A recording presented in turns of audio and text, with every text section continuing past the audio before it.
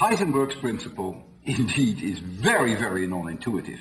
Frankly speaking, I'd call it bizarre. But you can see it at work. Suppose I have a laser beam here. And I use laser beam because that's right, but I could use any other light for that matter. And I make here an opening, a slit, a vertical slit. And here goes the laser beam right through the slit. Light goes on, light goes on, and here I project this onto this wall screen, projection screen, and what do I see?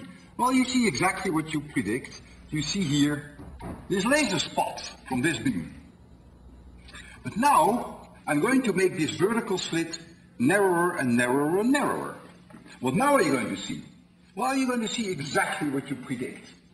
You're going to cut off the edges of the circle, and the spot gets narrower and narrower and narrower. But now you come to the point that this narrow slit, say, is only one hundredth of an inch wide. And now Heisenberg's principle comes in. Because now you know so precisely in the horizontal direction where the light is, that as it emerges from this slit, the direction of the light is no longer determined according to Heisenberg's principle. And so now what you're going to see, it's going to spread out in the horizontal plane, and therefore what you're going to see on this projection screen is going to get wider.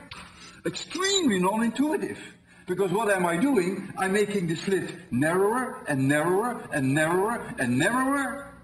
And what do you see ultimately? That the beam horizontally becomes wider and wider and wider and wider and wider and wider and wider. Now that is very non-intuitive, but it's the way the world works.